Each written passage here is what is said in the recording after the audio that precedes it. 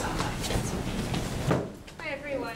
Um, welcome to tonight's meeting hosted by the International Socialist Organization. Um, I'm Lauren. I'm a member of the ISO, and I'll be chairing tonight's discussion on cops, class, and race, how to stop police violence.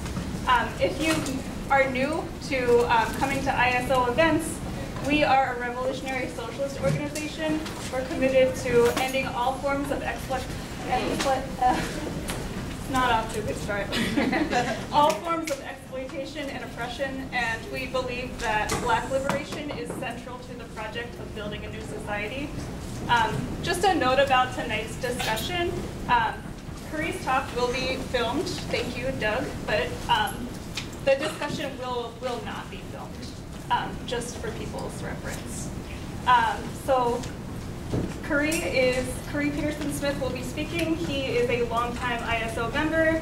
Um, he was the author of the Black for Palestine Solidarity Statement um, and is an activist in the Boston area. Um, take it away, Khury. Um,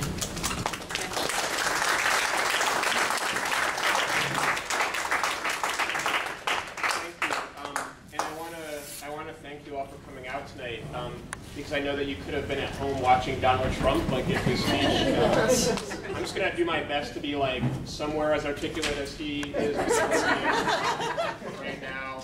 Um, make America great again. Um, okay, so that was a joke. Uh, on a more serious note. Um, you know, I, and I'm sure many of you, uh, woke up today to see or hear the news about um, this brother named Charles Kinsey um, in Miami, Florida, who um, works with disabled people and was working with uh, an autistic man. Um, both, both of them are black, and um, the police apparently got a call and they showed up um, these two men were just out in the street. And Charles knew it was going to go down. And while the autistic man was sitting on the ground, Charles sat on the ground as well, and he put his hands up. And he said, my hands are up, don't shoot me. And the police shot him anyway. And uh, afterward, he asked, why did you shoot me? To this officer, you know, Charles survived. And the officer said, I don't know. Um, but that didn't stop him from handcuffing Charles, which I think is really significant, that even as he's been wounded by a police officer's shot, a black man, unarmed, is considered criminal, somehow a criminal threat to be restrained. Um, and I was thinking all day um, after reading about Charles's story, and I know that I wasn't the only one who was thinking, you know, please just don't let me be shot by the police today, you know? Um, and I know that um, so many people feel that way, so many people are afraid for our family members in this country right now. And so I just want to say that, um, first of all, to kind of acknowledge the weight that I think weighs on this society at the moment, um, and that I know in one way or another everybody in this room has some sense of, you know. But also to say that there's, this is a particular kind of fear, the fear uh, that one has to be black in this country right now, um, the knowledge, it's not just an irrational fear, but it's a knowledge that we can be shot at any time, uh, and basically that the officers who, who commit that, uh, that act can do it with impunity. Um, and that particular kind of fear has a word. It's called terror. Okay? Um, terror is uh, a word that's thrown around a lot in this country, but they often don't define it. Terror isn't just fear. Like, I'm afraid of, like, snakes. You know what I mean? Like, that's different. That's an irrational fear. The police, unfortunately, is a, a, a thing to be rationally feared. Um, terror is when people act in a certain way deliberately to inspire fear. So, you know, of course, we're in the midst of this unending war on terror, and we hear the word terror all the time, but they never define exactly what terror is. Because if they did, then people would realize that the word terrorist doesn't just apply to Al Qaeda, it does. It also applies to a lot of institutions that are very familiar to us. And I would argue the police are today and have historically been an instrument of terror in this country. Um, they do what states do, what governments do, which is rule uh, by a number of, of, means, including terror. Um, and uh, I also checked today that uh, people may know that the Guardian newspaper has a feature called The Counted, where they're trying to keep track in some way of the number of people killed in this country by police. And as of today, uh, we were at 598 this year. It is on pace to exceed the number killed last year, which was just over 1,000 people killed by the police. So we're talking about, in a year and a half, over 1,500 people killed by the police. It's significant, I think, that it's a British news organization maintaining this count, not a US media outlet. Um, so that is this, this terror. It is a rational terror that is grounded in a nightmarish reality. And so it's something, too, that can't be swept under the rug, can't be ignored, because the Black Lives Matter movement has forced a new conversation about racism, about racist police violence, and about institutional racism. And it is a, a conversation that we've had uh, for the past few years now.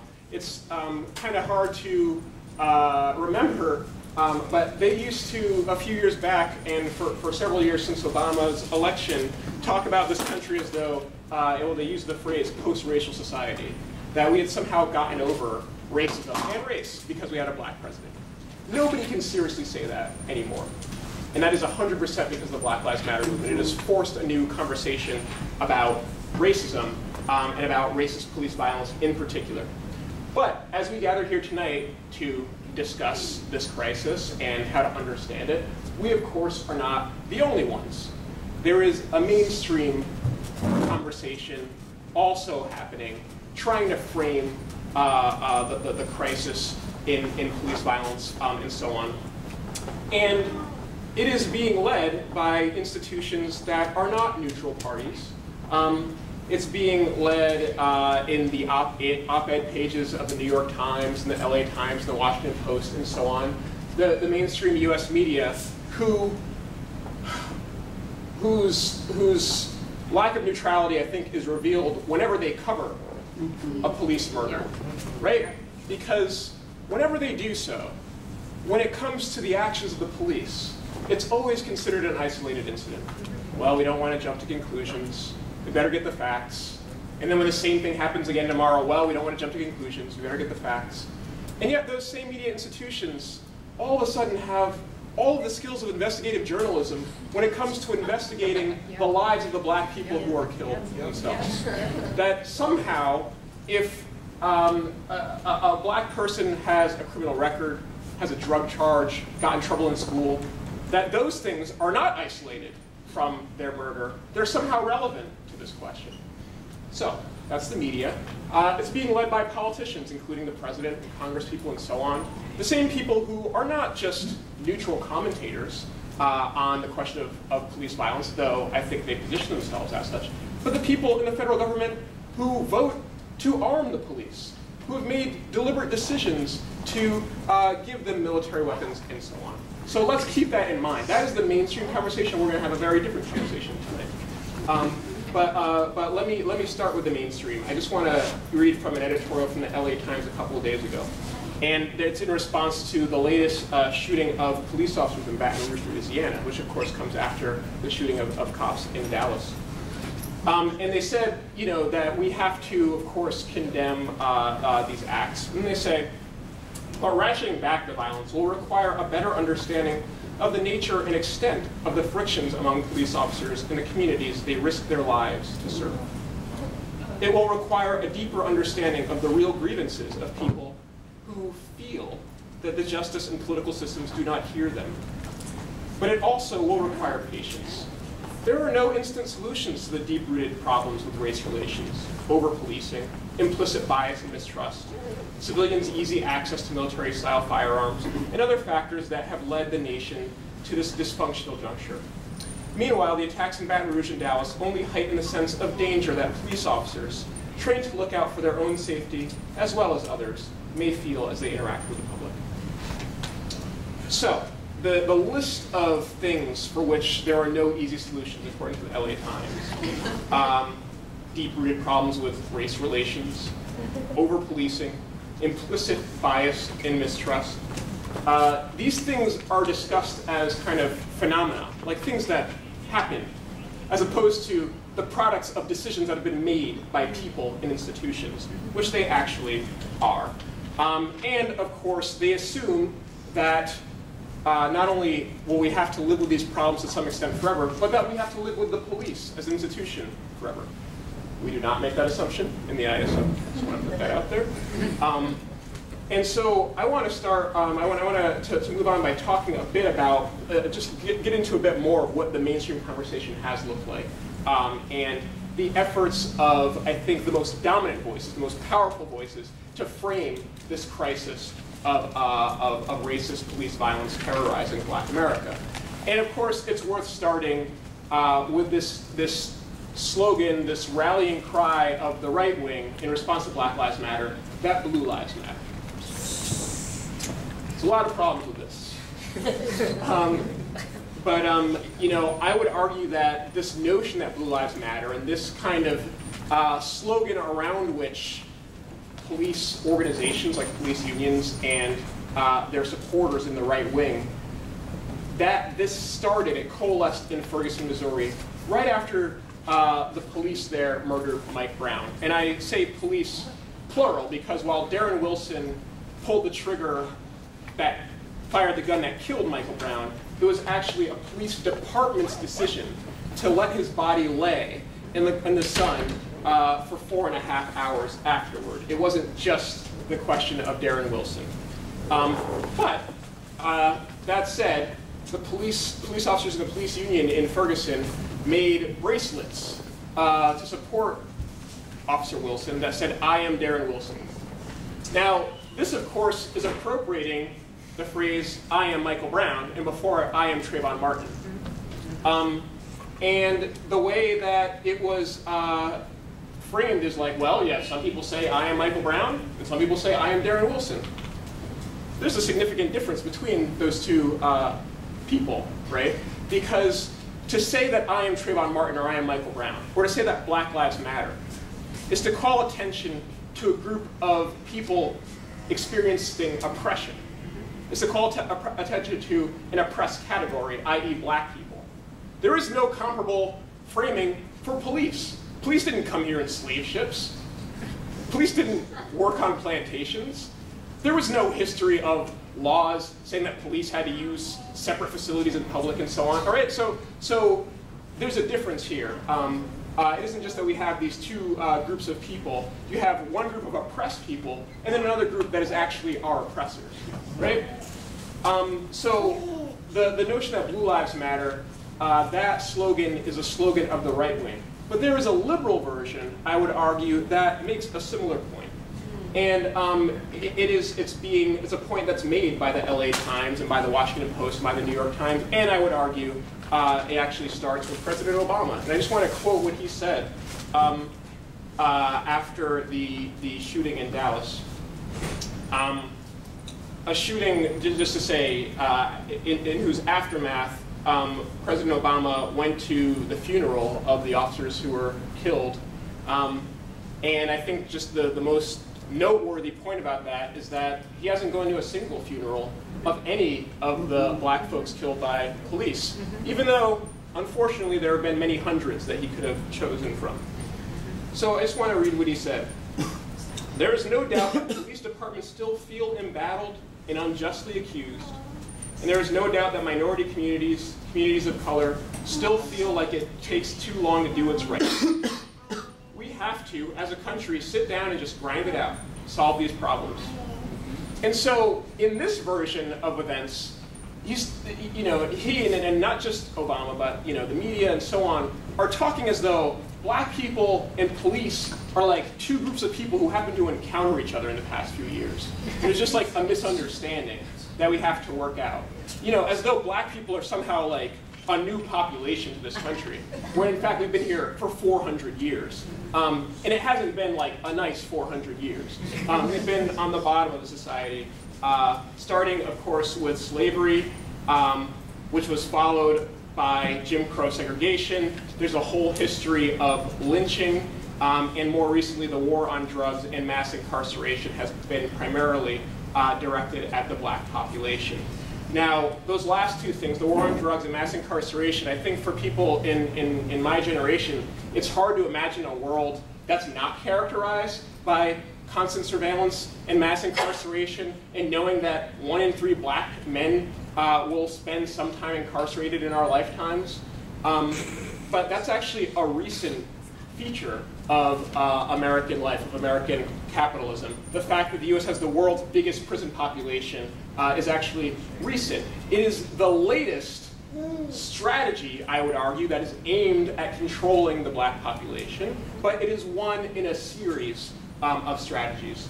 Um, and so I want to, to go back uh, to just historically um, and, and first say that in any society, the people who are in charge of it, who rule it, have to devise a way to maintain their rule. They have to devise a number of ways. And the question of the black population in this country, from the very start, actually from before when it was a country, um, has, been, has posed a problem for the people who, who run this society. Um, a problem, of course, because of the place that they want us in, which is at the bottom. And uh, Thomas Jefferson, who um, we know as a founding father, slave owner, um, he wrote uh, a letter that I, that I always come back to. Um, he, he, wrote a letter uh, to another statesman uh, where they were discussing the question of slavery and his kind of dilemma um, in terms of emancipation and uh, how it was such a difficult problem. He said, it's as though we are holding a wolf by the ears and we can neither safely hold on to him or let him go. You know, these are the words of a slave owner. They're the words of somebody who assumes that the wolf has to be held down, right? Who can't envision uh, liberation because uh, of, of black folks because that would threaten the very, his very existence as a slave-owning, uh, property-holding, uh, powerful person. Um, and yet, this kind of, th th there was a certain knowledge that if we're going to found this country with this group of people at the bottom, then we will always have to manage it as a potential threat, right? Okay, so with that, I want to talk about the police. Um, and just to say at the beginning, the police, as we understand them, is an institution that's only a couple hundred years old. It's one of many things that I think we take for granted as this natural kind of thing. But in fact, there's nothing uh, uh, natural about it. While there has been law for, um, for many centuries, this particular configuration, where you have a standing group of people who walk around and patrol neighborhoods armed all the time to, you know, supposedly enforce a law, um, combined with courts and a prison system, like this particular arrangement is actually a fairly recent one in, um, in, uh, in human history, actually, not just US history, but human history. Um, and it's worth kind of acknowledging that and, naming these things that we kind of take for granted because their violence is so normalized that we just come to accept it. Um, uh, it's, it's, it's, funny, you know, they talk about, uh, they, they cast at the moment, they're casting Black Lives Matter as somehow this violent threat. But I don't know how many of y'all were at the, um, the protest last Wednesday in Roxbury, which is amazing. You know, there was one group of people who showed up armed at that protest. That was the Boston Police Department, mm-hmm. right? Um, but the media didn't report that. They weren't like, hey, there was a group of people with guns, you know, because their, their violence is kind of the everyday violence of, of uh, you know, running the society, right? So the, the modern police emerged um, in uh, London, England, uh, in the southern United States, and in New England. And actually, um, as those of us who reside in Boston may know, may notice, um, on the cover, uh, or on the, on the front of the Boston Police headquarters, there are banners that say Boston Police First in the Nation. Because technically, Boston Police Department was the first one, uh, first modern incorporated uh, police department in the United States. Um, so, uh, I want to talk a bit about what was significant about these places that provided for the emergence of the police, of the modern police. Um, but uh, let me uh, start by saying that the police as we know them today actually emerged from earlier uh, bodies of armed men. And one of those uh, important uh, groups was slave patrols in the South. That is, groups of men who would patrol armed to look for uh, runaway slaves um, and so on. And I think that it is important to not only remember the, the early origins of the police as being in slavery and in managing the enslaved population of black people, but also to, to think about that historical analogy today. Um, because, you know, when, when the police murder uh, a black person today, the default response of the media and the mainstream is kind of like, well, what were, you know, what was the situation? What, were, what, were the, what was the black person doing that led to this? So think about it, like think about like a slave patrol. The question, you know, if they like shot, you know, an enslaved black person, the question isn't like, well, what was the slave doing? it's like they have a role, which is to maintain slavery, to maintain a status quo that is inherently oppressive to a group of people. And I think that that same kind of analogy um, has relevance today. Um, it's important because it's not just that the mainstream argues that. I think that we can accept some of those ideas, can internalize them. You know what I mean? I think particularly, you know, there's this notion of black on black crime. Um, and, you know, I thought the rally last week was incredible. But one of the things that folks were saying, and I think folks have been saying for the past few years of Black Lives Matter is, yeah, the police are bad, but, you know, we, you know, we give them a reason to come in. You know what I mean? Because of the crimes that, that, are, that are in our communities. And I think that that's actually an internalization of racist ideas about our criminality that are promoted all the time. And again, you wouldn't say the same thing. We wouldn't accept that kind of logic applied to enslaved people, right? Right. Okay.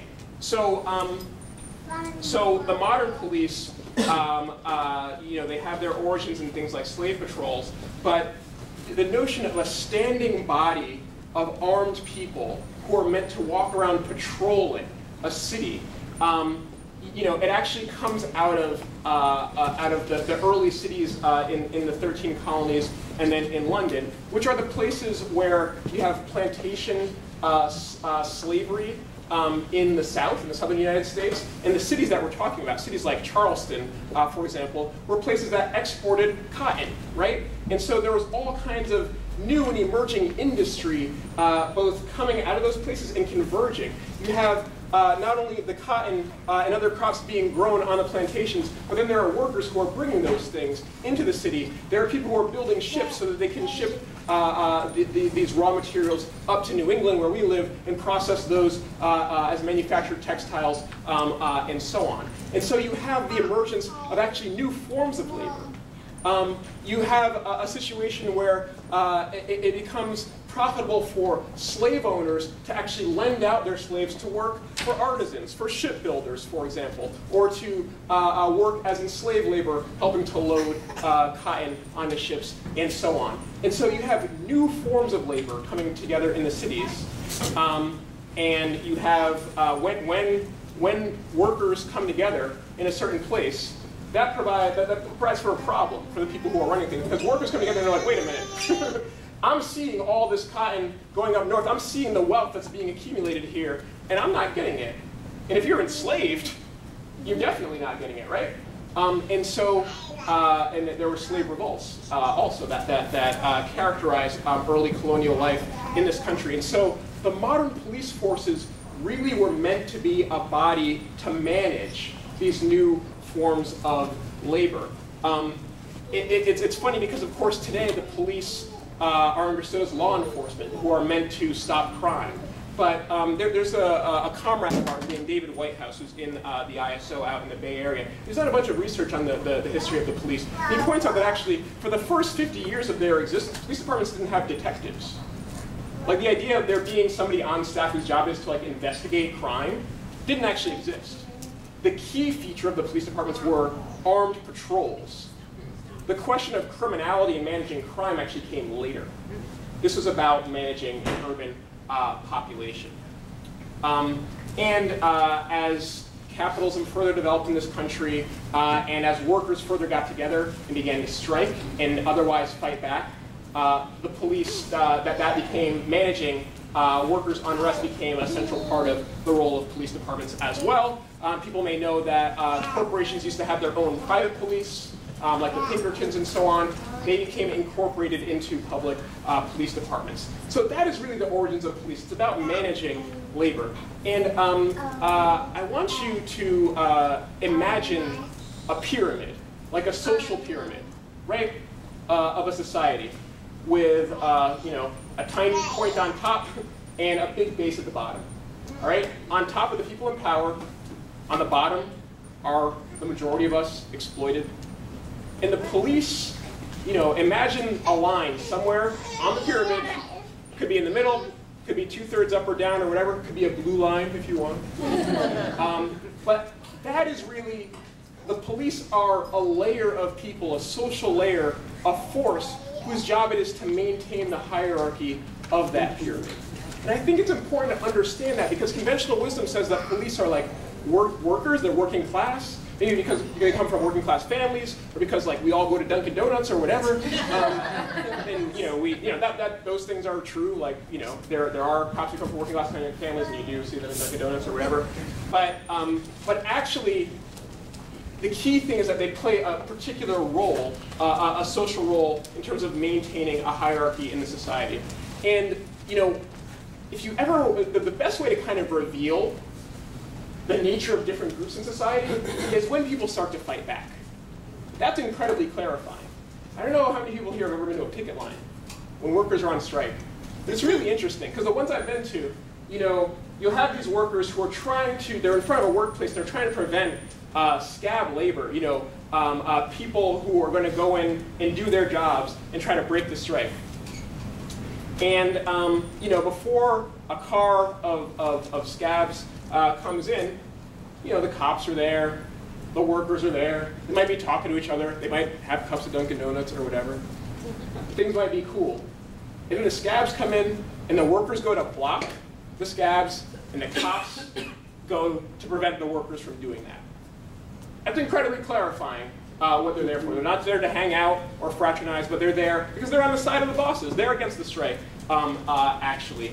Um, and I think in general, if you've been to a protest and you see the role of the police play, that's incredibly clarifying mm-hmm. because it's consistent. Like, you know, the, the idea that, that, that we're told is that the police are somehow like this neutral group of people who show up to maintain order in like a neutral way.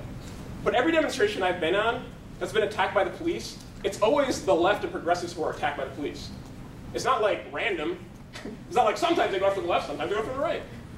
I've been to, um, and uh, folks um, in this room have been to a lot of protests against the far right.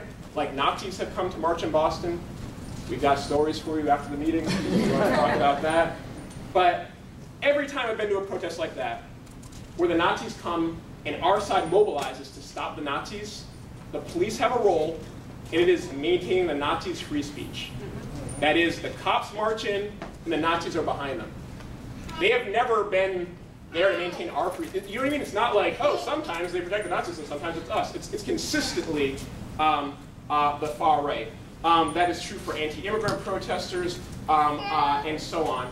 Um, and, uh, you know, in fact, for a long time uh, in the history of this country, particularly in the South, it was common knowledge, it was common kind of open secret that the very police officers who wore a badge during the day wore the Klan hood uh, and robe at night. That is, the Ku Klux Klan and the police were actually the same people, right? Um, and so they consistently defend the right wing and protect the right wing because right-wing ideas buttress the society that the police's job uh, it is to maintain in general anyway. And conversely, that's why they're consistently against uh, black people, indigenous people, who by the way are killed at a very similar rate as black people by the police, um, women, if you know, uh, you know, I'm, I'm, sure people in this room um, are intimately familiar with how the police treat things like intimate partner violence, sexual violence, and so on um, uh, that, that affect uh, women um, in, in, a particular primary way, um, LGBT people, and it is why poor white folks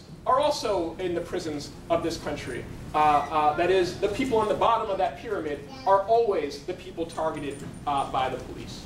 So that's their role, um, to, maintain, to, to, use violence to maintain the status quo.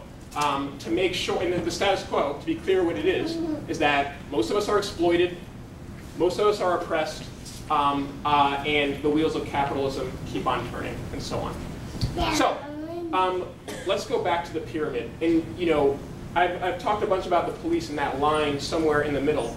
But who's on top of the pyramid? Of course, that's rich and powerful people. Now, historically, you know, when, when this country started, 100% of the people at the top of that pyramid were white men. Um, you know, the U.S. always, history books always talk about like, the March of Progress. And like what the March of Progress means is like, now, there's a few women at the top who get to exploit you. you know, there's a few black folk, you know, like, like that, that group of exploiting parasites, you know, is slightly more diverse. Slightly, um, but, but there's a significance there. And I, I, I just, I think it's worth talking about what the top of that pyramid looks like today if we're in a conversation about race and class and police.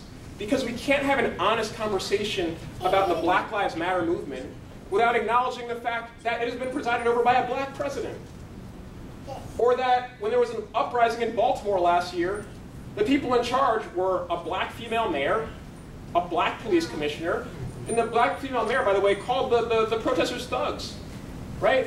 Um, or uh, the fact that, you know, John L. Lewis, who has been an inspiration to so many people, this is a man who was a civil rights leader, who's now a congressman, who most recently has used his voice to talk about why we need to support the police, right? So regardless of how you get there, where you come from, when you end up in the top of that pyramid, you have a role to play, right? Um, uh, and I, I, just think that that's, that's important to, to acknowledge. I'll throw that out there for the discussion. That's the top of the pyramid. Conversely, on the bottom of the pyramid, we know that black folks are a particular target for the police and the violence of the society. But we know that there are more than just black folks at the bottom of that pyramid, right? It is the argument of socialists that all of us at the bottom have an interest actually in uniting and fighting against that whole, against the whole pyramid. We don't want a situation where there's a minority of people on top and we're exploited on the bottom or oppressed on the bottom. And so we all have an interest in actually overcoming police violence and truthfully overcoming uh, the police in general. Um, and so uh, I'll say that. Let me make uh, one other quick point before wrapping up because the, the, the point that I'm trying to get at in conclusion is that if we're talking about stopping racist police violence, we can't look at it purely in isolation. It is actually part of a larger social structure in this country and beyond this country. That is, I think we have to say something also about U.S. imperialism, U.S. empire. I mean, the um, you know in Dallas, the way this like shooting situation, this this gunman. Um, well, first of all, let, me back it up. Before I talk about how, how that guy was killed, let me talk about the fact that the two shooters in Dallas and Baton Rouge were, were soldiers, right? I mean, we have to acknowledge the fact that for 15 years now, tens of thousands of people have cycled through combat zones.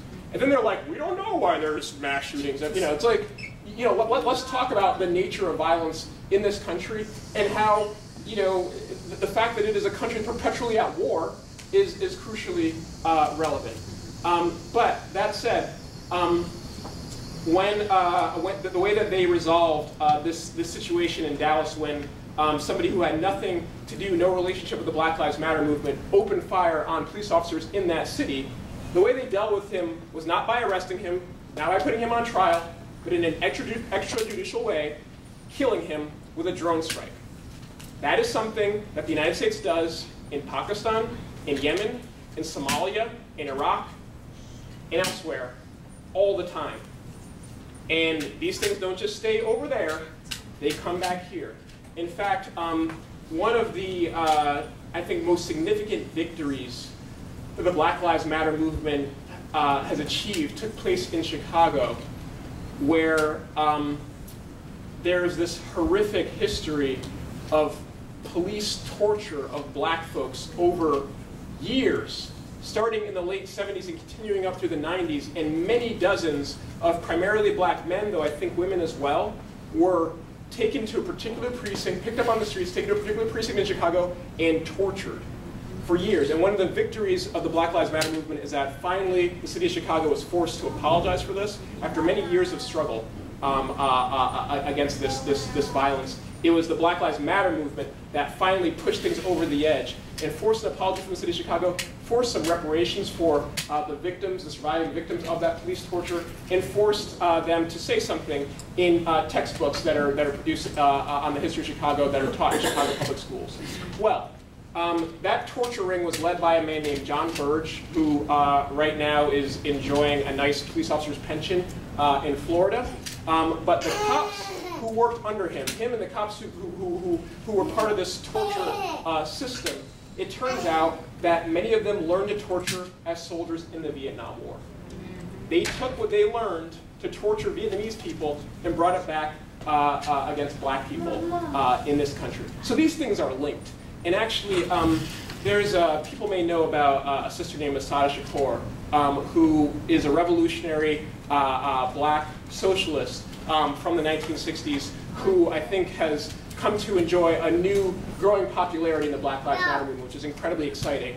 And one of the things that she said, and I'm, I'm paraphrasing, is that any group of oppressed people who's serious about its own freedom has to be concerned with the freedom of other oppressed people as well. And she was talking about that in particular in relation to the question of imperialism. And she said anytime one of US imperialism's tentacles is cut off somewhere else, that is a victory for black people um, uh, as well. And so really, the interests and the fates of all oppressed people are bound uh, together.